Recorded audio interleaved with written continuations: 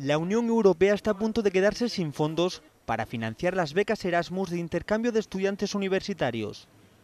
También afecta a otros muchos programas de ayudas comunitarias debido a los recortes del presupuesto de 2012 impuestos por los Estados miembros y la Eurocámara. Según ha apuntado el portavoz de presupuestos de la Comisión, Patricio Fiorilli, la mayor parte de las ayudas para el periodo entre enero y septiembre ya se han pagado, pero para lo que queda del año solo se ha cubierto el 70%.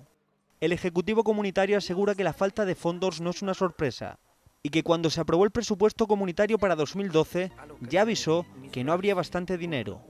Precisamente España fue el país en el curso anterior que más estudiantes universitarios envió al extranjero con una beca Erasmus con más de 36.000 y también el que más recibió con una cifra aproximada.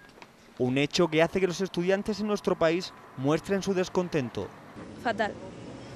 Pues me parece muy mal. Mal, porque dificultas que, otro, que otra gente se quiera, ir, se quiera ir a estudiar al extranjero. Es una pérdida de oportunidad. Sobre todo en un contexto de crisis como el actual.